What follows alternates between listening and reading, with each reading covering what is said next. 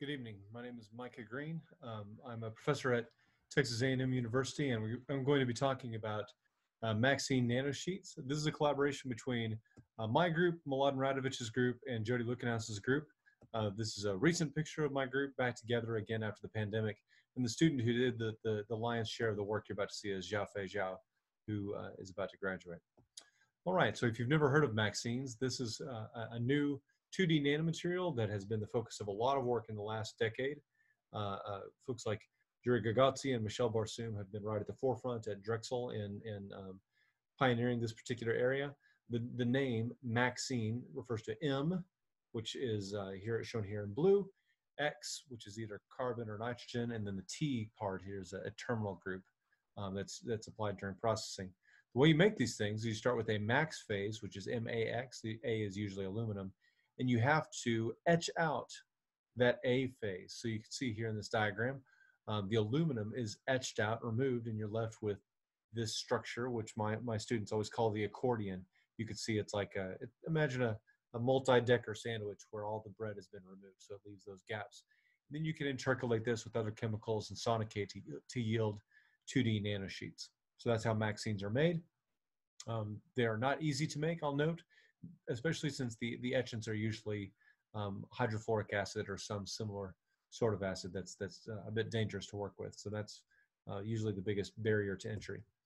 The reason people care so much about MXenes is um, this combination of, of colloidal stability, hydrophilicity, high electrical conductivity, and then uh, you know a lot of uh, associated properties um, in, in composites and devices and films, things like that. There have been just a wealth of publications in this area along these lines. Um, so there's a lot of papers out there and a lot of publications and presentations on MXenes, but I'm going to talk about one of MXene's problems. Um, the reason that they've been around for 10 years and you're not seeing them as much in consumer products is that they, they have a, a really key pro problem. Professor Barsoum always said uh, MXenes are like fish. After three days, they, they start to stink a little bit. And so the Achilles heel of MXenes is that after a few days, they can start to oxidize, especially if they're in some sort of water environment you can tell this through different ways. I mean, sometimes it's visible. You can actually see uh, the color change. If you do microscopy, you can see, see uh, TiO2 in the case of, of Ti3C2. Um, and you'll start to lose electrical conductivity. You'll see things crashing out of solution. So this is one of those real problems that undermines uh, this particular nanosheet that doesn't show up for other devices, that for, for other nanosheet families. So this is a big problem. You can imagine the number of papers that are out there that say, look what you can do uh, but after a few days, th- th- they would lose those, those particular properties. Um, there's been some controversy in the literature about what causes this. Some early papers actually argued that dissolved oxygen um, in water was the cause. Uh, but then later papers said, you know, if you actually use, you know, bubble argon through water, you still get oxidation, and you you don't if you put it in isopropanol. So it seems like water is probably a big piece of that. Um, there have been a lot of efforts to mitigate ox- uh, MXene oxidation, um, if you keep them in a dry environment, if you put them in a freezing environment, if uh, if you encase them in a polymer composite, these are all different techniques that have that have proven effective in slowing down oxidation. Um, but what I'll talk about today is something that that our groups have, have worked uh, really hard on, which is to uh, make MXenes more stable through the use of antioxidants. So this is a a pretty clear image here on the top left. You can see if that if you take the just the as prepared MXene nanosheet dispersion in water and you leave it for three weeks, that it, it clearly oxidizes and you get TiO2 and amorphous carbon. Whereas if you use something like sodium ascorbate, um, it'll it will stay and, and, remain stable and stay in that same form for months. And so um, you can prove that through different techniques. You can measure a conductivity. Um, here we you see the the um, the XRD uh, uh, showing whether you get no oxidation or, lot of oxidation, depending on what you use. Ascorbic acid is another effective antioxidant. That's one that many of you will recognize because ascorbic acid is vitamin C. Um, you can also monitor exactly what's happening based on the hydrodynamic diameter that you can measure using dynamic light, light scattering. In sodium ascorbate, it's fairly stable, whereas just in, in the normal dispersion, it starts to go bad after a few days. Um, the zeta potential, this is a mark of, of, uh, of uh, the, the net charge that's coming from those terminal groups that allows it to remain stably dispersed in water. Um, you get something pretty nice and stable with the presence of the antioxidant, whereas if you just leave it in water, you see changes even in the first day or so. Um, so these are all different examples of, of the kind of, of uh, problems that you can that you can fight off if you use antioxidants with uh, with these nanosheets. You can measure this through XPS.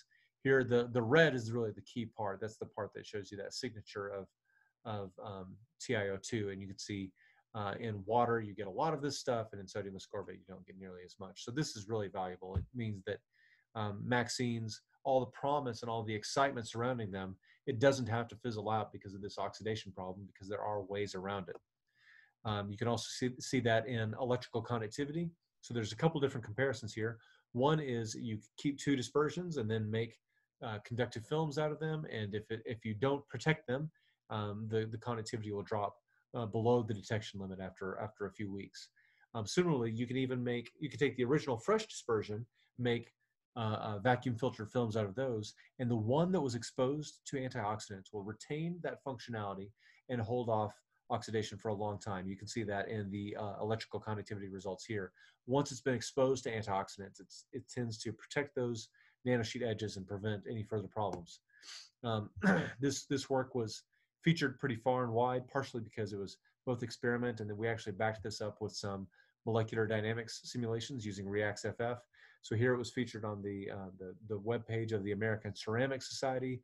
It was also featured on the front page of the National Science Foundation. Part of the reason was because um, there's a lot of interest in MXenes and everybody's heard of vitamin C. And so it's pretty great that, that a, uh, an antioxidant that even humans will use, like vitamin C, works to protect these novel nanomaterials too. Um, we've also recently looked at uh, how other colloidal factors can affect MXenes.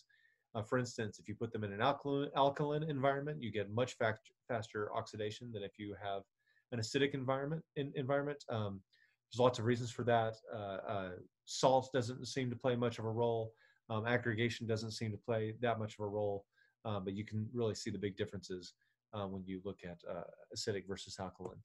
Um, and then in the midst of all that, as we looked at a number of different acids and buffers, um, we realized that citric acid um, does even better. It's one of the it's one of the best antioxidants we found and allows these MXenes to stay stable. Um, uh, very little of that TiO2 formation even after 50 days. So it really does a, a, great job and allows you to keep these things on your shelf for a long time. There's been a lot of commercial interest in these materials, but you can imagine if you're a commercial supplier who wants to leave people with MXenes and sell to them, they need to be able to, to, to stay on the shelf and not change for months and months. Um, just a few weeks is not going to cut it. Um, this also works for other MXene types. So most of the results I've shown you so far are for are for Ti3C2. That's by far the most commonly studied MXene. It's the easiest to make. Um, but this also shows up for other MXenes as well, like Ti2C.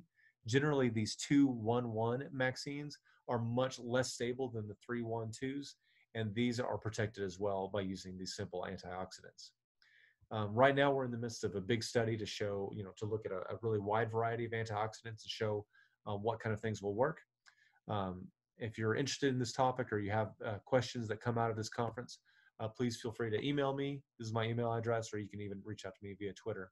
Um, one last thing I'll leave with you. Um, for those of you who have not worked in the area of MXenes and you're thinking about it, um, this is an area that it's not easy to just dive straight into. There are a lot of safety concerns. Um, I, will leave you with this. Uh, my group partnered with the Mary Kay O'Connor Process Safety Center at Texas A&M. We actually wrote a big review recently about the uh, processing hazards associated with uh, working with MXenes in the lab and associated with potential co commercial scale up. Most of those hazards are related to the use of acids in the actual etching process and removing things like HF. Um, and so if you're if you're looking into this area, whether you're in academia or in industry, I would definitely recommend this to you. This is one of the most uh, uh, sought after papers in engineering and industrial, oh, sorry, uh, I&EC research um, last year with that, I'll stop. I think I've managed to stay under my 10 minute mark and uh, I appreciate all of your, your attention. I'm sorry we can't be together in Los Angeles uh, this week, but I hope this will do the trick. Appreciate it.